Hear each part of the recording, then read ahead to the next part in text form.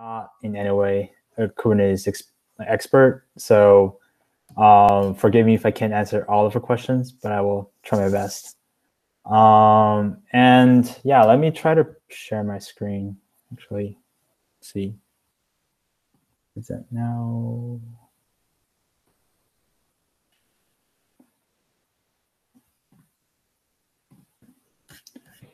Cool. Um, can you guys see this? Yes. All right. Yeah. So today I'll be presenting a little bit about Kubelinter. It is essentially an open source tool for you to check your YAML and Helm charts. And I guess a short disclaimer, like before I start, uh, the contents are all from StackRox, and I'm just here presenting. So uh, a little bit about what we will be covering today.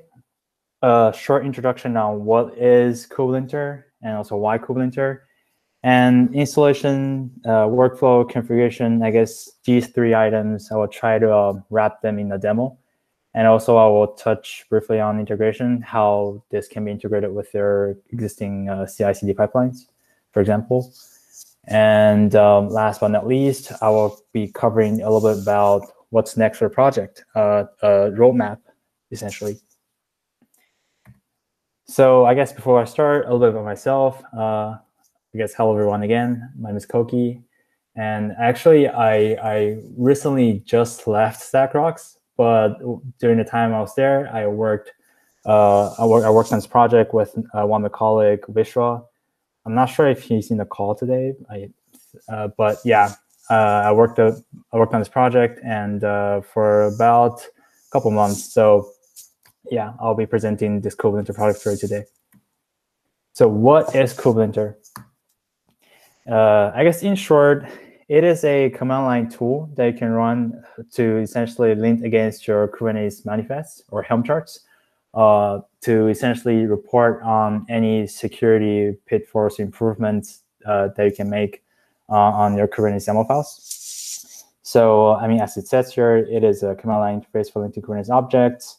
and this tool actually comes with a couple of default security or like check policies baked in for enabling best security practices.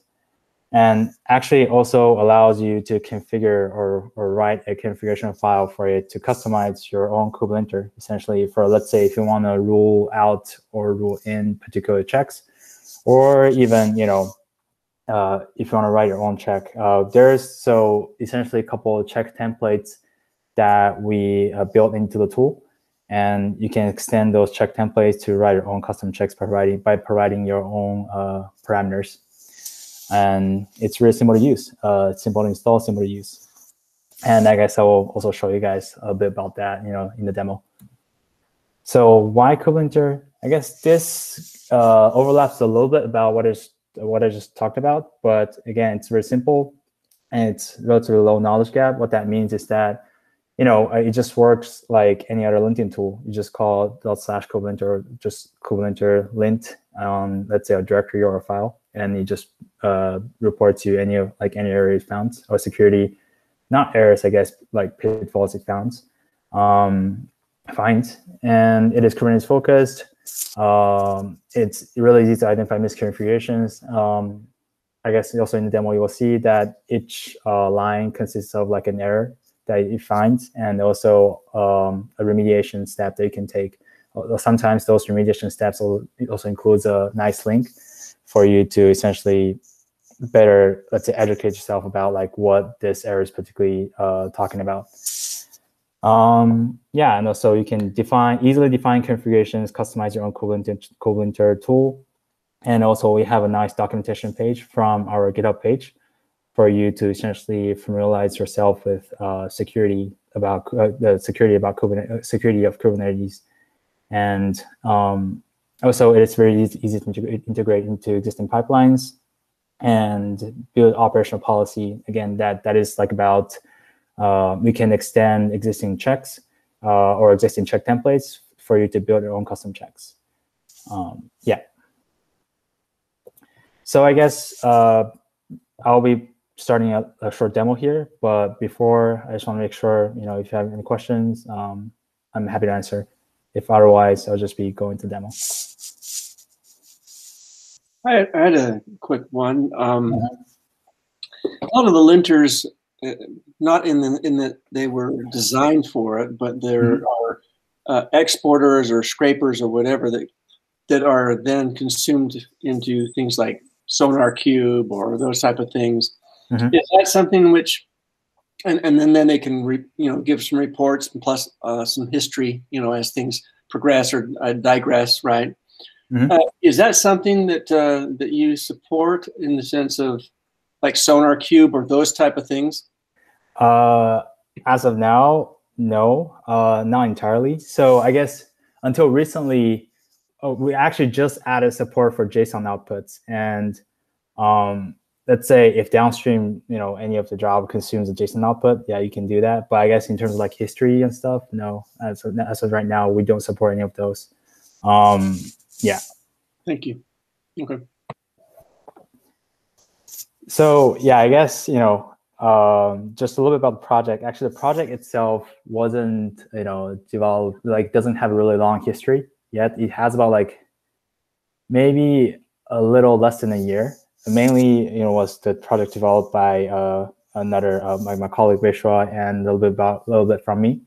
Um, so we had limited, resources. So yeah, there's a lot of features that hasn't yet been completed or just hasn't yet been shipped. But um, yeah, I, but still, I will show you guys a quick demo about like what the project currently can do. Let's see. Um, cool. So you guys able to see this terminal? Maybe a little bit um, Larger? more- Yes, please. Okay. Let's see. Maybe. about now? Is How about now? Is that good for everybody? Yeah. Okay. Thank- So yeah, uh, this is just a, a, I guess, contrived example that I set up for this purpose of this demo. Uh, we have compliant.yaml, kubelinter, non-compliant.yaml, and this kubelinter binary will be the tool that we use today. Um, you can essentially download directly the binary from our releases page, or you know, there's go get command for you to download this kubelinter binary. Uh, the, and also for uh, just for information, this kubelinter is entirely implemented using Go. So yeah, and if you run this binary, we can see that there are five commands supported: checks, help, cleans, templates, version, and the most important one, of course, will be lint, right? Um, and actually, let's let's do this, right? Lint non-compliant. You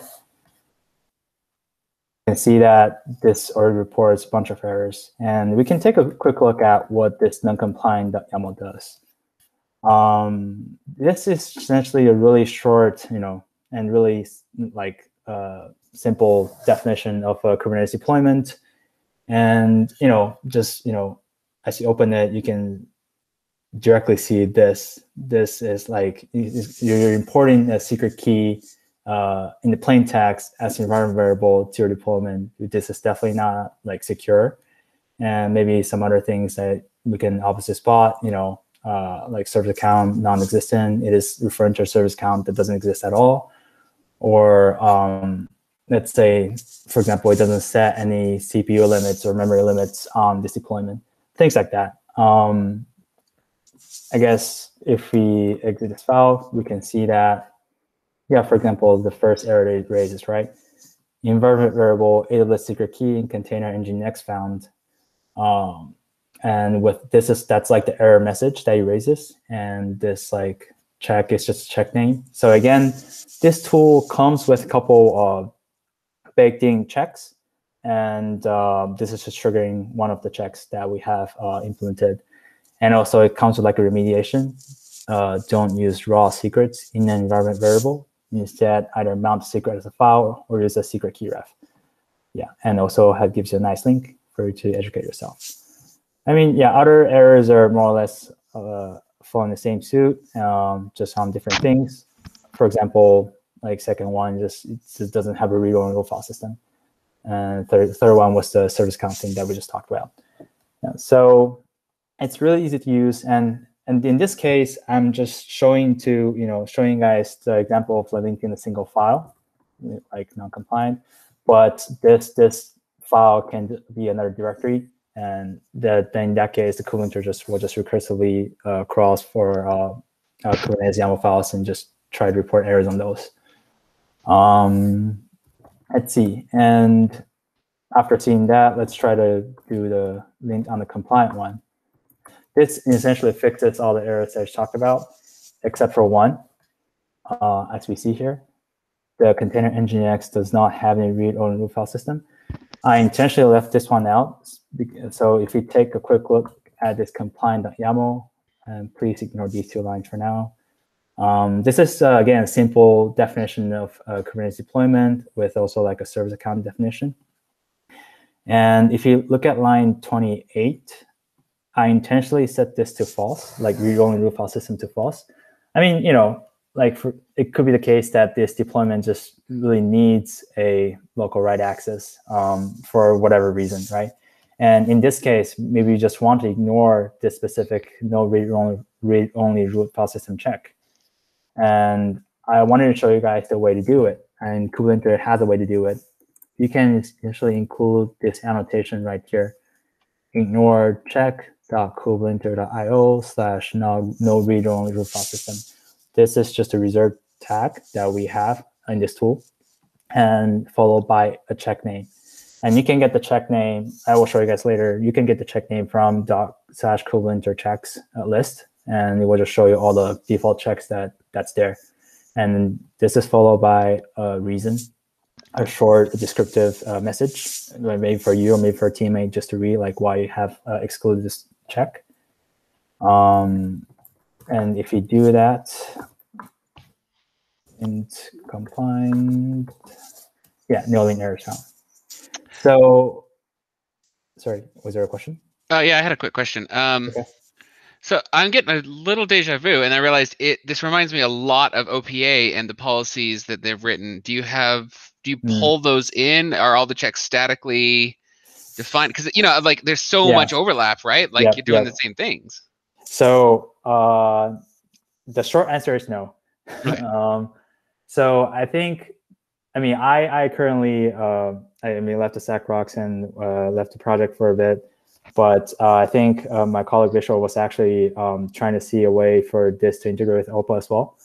Um, but yeah, I think that's in the works and currently no. And all the check templates and uh, uh, the default checks are actually implemented by our own.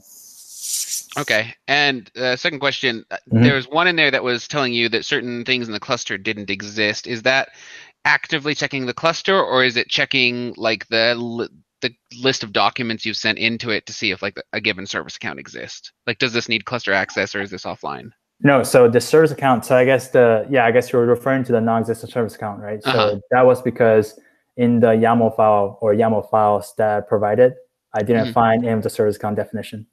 Okay, so, so it yeah. is saying like it is. It might be in the cluster, but it's not in the list of things you're. Yeah, so it expects yeah. kind of a holistic view every time. That's fine. Yeah, okay, exactly. that, that answers my question.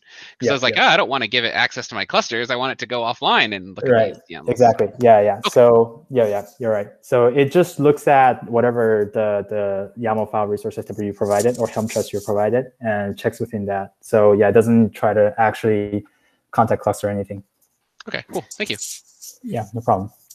So yeah, so I guess, you know, after including the annotation, you can see that no errors found. And, you know, let's say if you wanted to, uh, uh, if you wanted to ignore all checks for some reason for the YAML file, I think there was like a reserved key tag for this as well. Maybe it's like slash all, I remember. Um, you can do that. And that's like the easy way, a quick way for you to exclude all Kubernetes checks for this particular YAML file. Cool and that was that. And actually, there's one more thing I wanted to show you guys. Uh, so if I looked at all the files, there's like a dot disabled kubelinter.yaml. So let me rename that to dot kubelinter.yaml.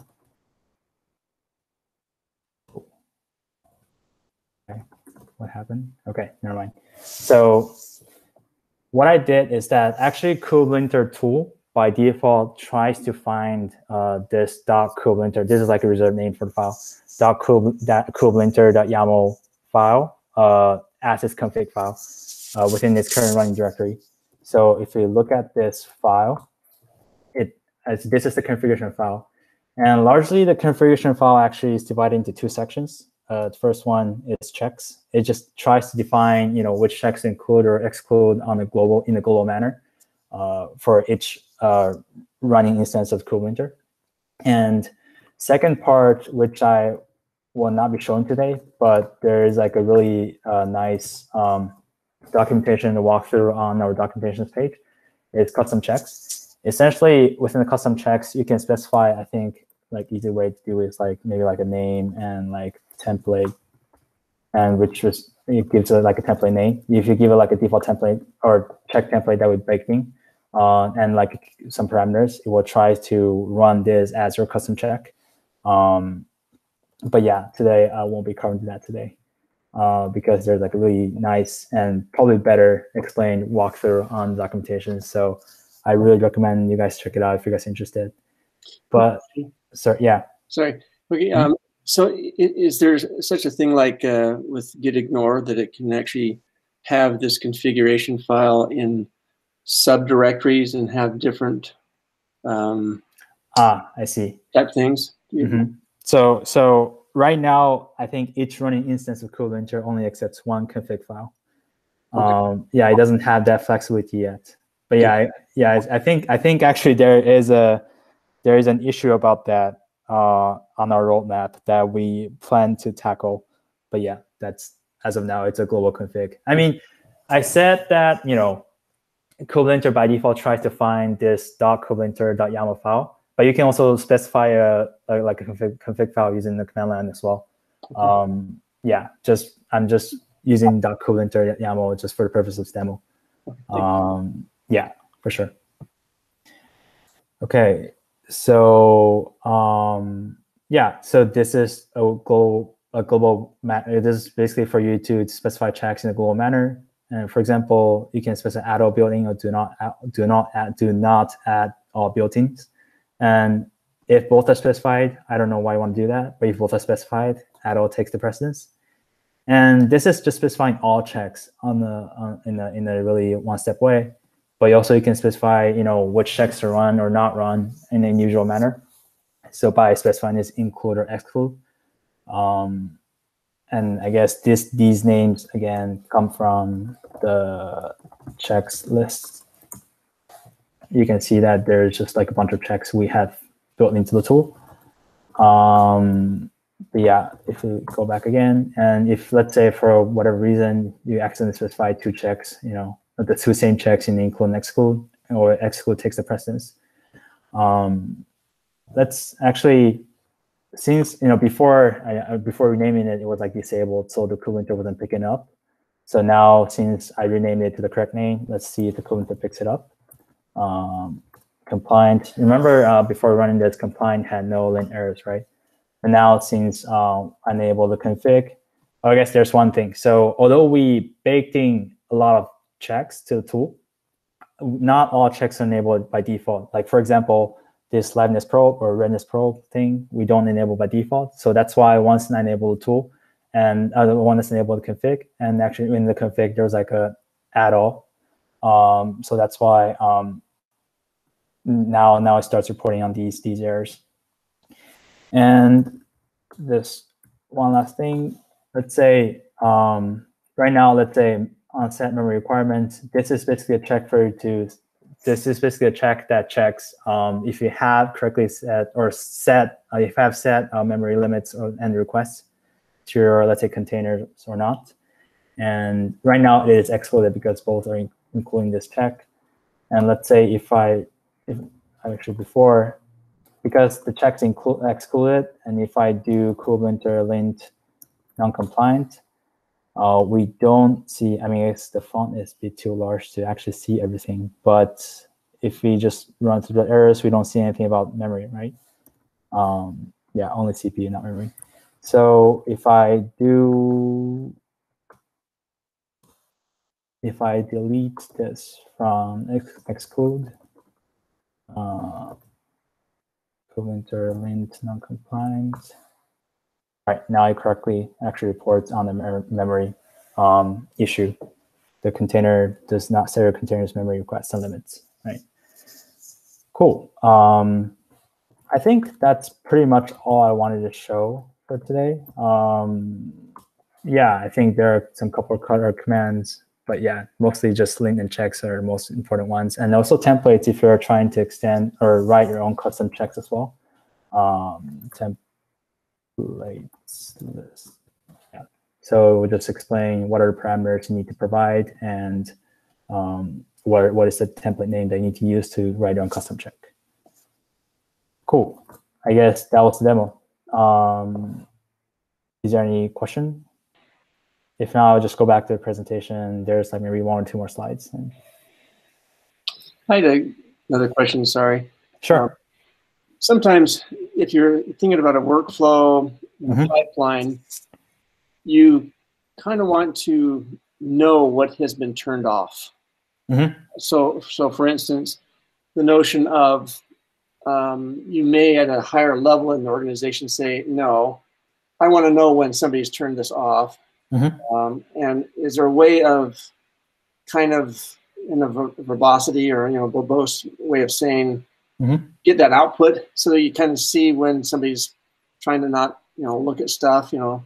One of the things I see with Linter sometimes is it's like with unit tests. Mm-hmm. Oh yeah, it fails. Well, the easiest way to do it is just ignore that, right? Do what right. you need to do yeah. ignore it. So, does that make sense? Do you have something like that? So, I guess just to confirm I understand, you're saying that is there a really easy way to see which checks are enabled or which checks are not currently? Yeah, kind of enforce. I see. Not really enforce them, but just to know if this, if somebody or uh, they've been ignored. I see. So. Um, right now, I don't think there's a way for the tool to report.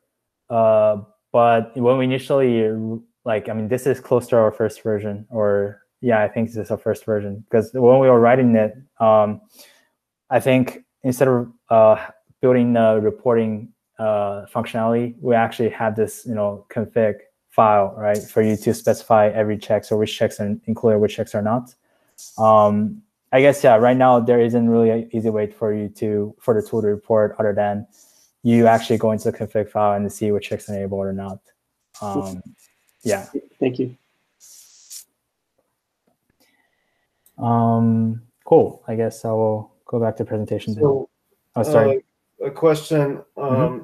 I see that it's got a JSON output. Is it consumable by, you know, does that match any of the kind of normal standards that like Jenkins can consume and display in the build reports or anything like that? Uh, what do you mean can consume? I think so. So I guess yeah, the JSON output format is so if you look at the like for example a linting like output right. Right now it's just print by line, and in the JSON output, I think it just uh, tries to print you know what's it, like this in a like more JSON formatted format, but it doesn't try to like embed any special reserved keyword or anything. I guess what do you mean by can consume by Jenkins? I guess can, can Jenkins, depending on downstream jobs, right? You can consume there, this. There, like there's some there's some formats that have become kind of I don't know standards that a lot of tools will output, and then uh, you know some of the the build build tools can consume that and display the the output of, of those tools as part of the uh, build report. Uh, Are there more than I thought it was just the like the Java unit test out like XML format yeah. was the only one I'm aware of. Yeah, J, JUnit. JUnit. Yeah. yeah, JUnit's the popular one. There are a few, yeah, I know what you're saying. There are a few tools that do exactly what you're saying and will output in JUnit format so that they inter- uh, I see. interlock. I see. Yeah. Yeah, okay. that's, yeah. that's certainly the most common one. Mm-hmm. I see. I see. Okay, I see what you mean. Uh, in that case, yeah, no, this is just a this just formats this in the JSON format. Yeah. So like, I guess you know, in, depending on your cases, you know, you can consume the output, but yeah, in your in your case, probably not. Sorry, does that answer your question? Yes, thank you. Okay. Um, cool. I guess yeah. Just to going back to presentation. So yeah, I guess. I mean, um, I mean, I guess one of the question, one of the previous questions also, you know, pointed out. I think there's just a lot to be worked on for this KubeLinter project, right? Um, but yeah, I guess in terms of like our roadmap currently, um, I guess first of all, more checks. Um, right now, it only checks for let's say uh, security improvements for the YAML files, but it'll be really nice. It, it be really nice if you can also do some validation as well. Um, I, I don't think not all validation can be done just from the client side. I mean, there's definitely some like validation that's only been done on the Kubernetes control server side as well. But um, and we're trying to find a way to, let's say, either utilize an existing library or existing tool or, or, or, or something to try to also basically allow KubeLinter to be more powerful in that sense. And uh, yeah, additional resources. I don't think currently supports network policies or pod security policies. Or let's say, let me be the third big one, the custom resources. The Kubernetes custom resources is something that we don't yet support. Um, and I guess next item is better customizability. I mean, I, th I think one of one of you pointed out earlier, right? I think the currently the config file is is defined on a global uh, in a in a global manner. And uh, although the KubeLinter can crawl for let's say subdirectories for for more YAML files, there isn't a way for it to specify the config file just for that directory um, yet. Uh, but yeah, I think that's like a really good feature to be worked on. And also there isn't, at, at least I'm not aware of, there isn't a, really a good way for you to exclude a single YAML file under, let's say, a particular subdirectory. Um, but yeah, I think that's that's yet to come. And usability improvements. Um, I mean, most of linting tools nowadays are like the really good ones supports automated um, automatic rewriting, um, or even just reporting on line numbers and or, or, or you know and columns. Um, right now, I mean, although it reports uh, let's say the container name or a service name or some just key names, but it doesn't really report to you within the YAML file where it is, or, or even support automatic rewriting. Um, so yeah, that we should really support that. And last but not least is the native integrations. Um, StackRox, I think, hosts a, a, Docker image for the this KubeLinter um, tool. So for you to easily integrate with your existing CI/CD pipelines. But um, uh, let's say other than that, like for example, Circle CI or GitLab, I think we also have a GitHub action for it for for for for, for people to use.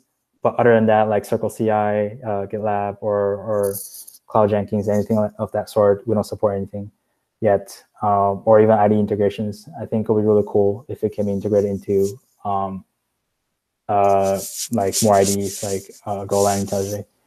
Um, but yeah, that's that's more or less the roadmap. Plus, I guess some of the things you guys have earlier pointed out. Um, resources is you know we have a GitHub page and the documentations page, and from that GitHub page, there's actually a QR code for you guys to, uh, to scan or, or, the, or a link to, to the Slack channel. And uh, also on the documentation page, I kind of mentioned this earlier too, there's a really nice walkthrough of, of the KubeLinter project or and also the installation and just to getting started and also just get, getting started. Um, I recommend you guys check it out if you guys are interested. And I think, yeah, with that, um, that's what I have prepared for today. And uh, thank you very much for listening. And uh, I'll be happy to take on any questions. Thanks, okay. Anybody?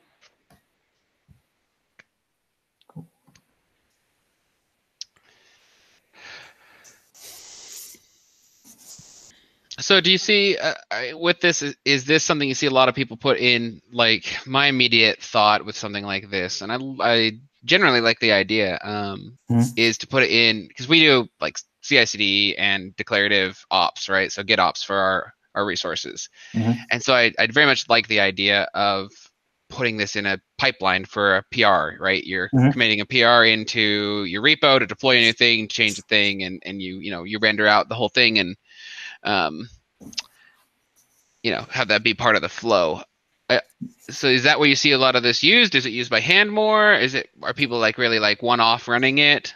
Yeah. So I guess as of now, the more of use more of the use cases actually come from yeah integrating with CI/CD pipelines.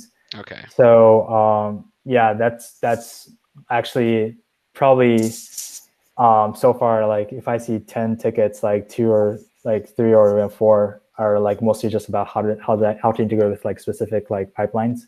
Yep. So yeah, that's that's that's more on for use cases. Yeah. Okay. Uh, have you thought about pulling it? So I saw um, Helm support in there specifically. Mhm. Is Kustomize also?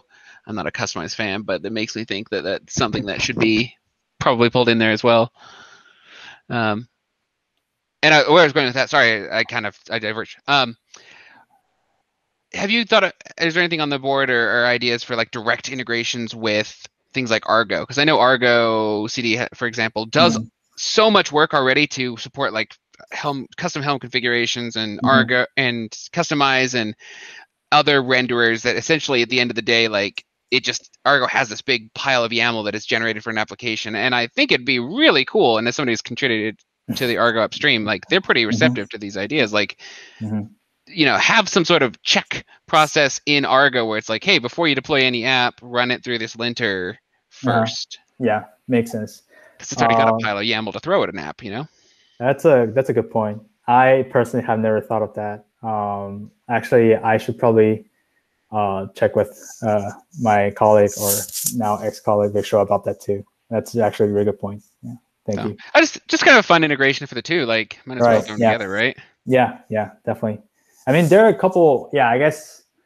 Yeah, like there are just a couple. Uh, let's say other libraries. Um, we we have looked at for let's say. I mean, enhancing the validation side of things. But yeah, in terms of like contributing back to the upstream project, no, I haven't. Yeah, actually, that's a good point. Yeah, well, and, and like I said, you could just it'd be neat to be like, oh, in Argo now you set a thing and it will lint Mhm. everything before it deploys it for you and save you on deploy. And again, you would all you wouldn't have to change your code almost at all. It's almost almost entirely an Argo Mhm. Change to have them have some way to you know send you the YAML they've generated, maybe an API or something. Or that is a question then. Can you run the that is more up your alley? If you can you run kubelinter in sort of an API mode where it runs gRPC HTTP API so that it can be used as a service? No, not yet. Yes, Okay. that that also came up. Um, Because yeah, they that, had that. yeah, that's come up before, but no, not yet. Yeah, I was going to ask the same thing because I was wondering if it could be integrated into like an admission controller or something. Yes. Right. Yeah. Um, you know, actually, a lot of the yeah, let's say you know, building. So I think the main reason we haven't really you know make this into a service. I mean, I'm I'm not sure it's the main reason actually. Uh, I probably need someone from my company to keep me honest here, but um, is that you know our like main product actually works on you know let's say um, let's say, for example, intercepting admission control uh, signals or, or commands just to like do security filterings and stuff. So, I mean, this tool mainly actually, you know, we started it as like a like a local like a thing that you can run on a local desktop or even just like run in, in a CI/CD pipeline without connecting to anything. But yeah, that's actually a good point. Like maybe you know if it became powerful enough one day, we should probably like like be able to like make it be able to run in API mode or something. Yeah. Yeah, not a bad idea. Yeah. Thank you. I'm definitely curious. Uh, so this is going against the actual YAML, right? So like you're not decoding it into anything else. You're parsing No. it as YAML and then Yes. doing linting. Yes. Yeah. We use Uh, the yeah. Having had that experience and Mm-hmm. knowing that you know a lot of stuff you know is presented as YAML, and that's a great way to attack it. Uh, would you still take that approach, or would you try to do something that involves more of the protocol buffs, or actually treats Uh. it more as the object as it has appeared on a wire, maybe, and and get uh, almost like you know object level uh, Mhm. information into it. Mhm. It's a it's a much different problem to attack. But would you Yes. still attack it at this layer? Would you try it the other? Would you try a combo? I see. Yeah. So um, the very first lines of code wasn't written by me. I think the main uh, drive like uh, motivation for just using or like using existing Kubernetes API to parse it as YAML or parse uh, parse the YAML as like Kubernetes object is just the simplicity. It's really easy to use and it's easy to start a project. Uh, but yeah, as we progress, yeah, I mean, we definitely see limitations, right? Um, like for example, um, like automatic rewriting is is hard to support in that mode. Um, and uh, I think that was that was like a main big issue uh, we, we we counted down the road. But yeah, I mean the main reason we started in that way is because simplicity. If you ask me again, uh, I probably I would have to probably you know work on it a bit more to actually let's say, or actually maybe you know to start the project in the, the other direction a bit more to actually see which one is better. But uh, as of right now, uh, apart from let's say on record writing or just apart from let's say directly you know modifying the files, I mean so far it has worked great. So I don't see really that like strong strong reason to go away from it uh, because also using the Kubernetes API gives you some validations, right? So uh, natively. So yeah, um, as of now, I don't really see a reason to go strongly against it. Yeah, it's and and it kind of goes with code, right? Like, yeah, likely have a linter that doesn't go very deep into your code language either. So it, it Yeah. makes sense that way. I'm Yeah. just curious if you found reasoning to maybe diverge if you if you had a new opportunity. right. I think the automatic writing was like the main one I thought of, but that's that's really the only one I, I had thought of. So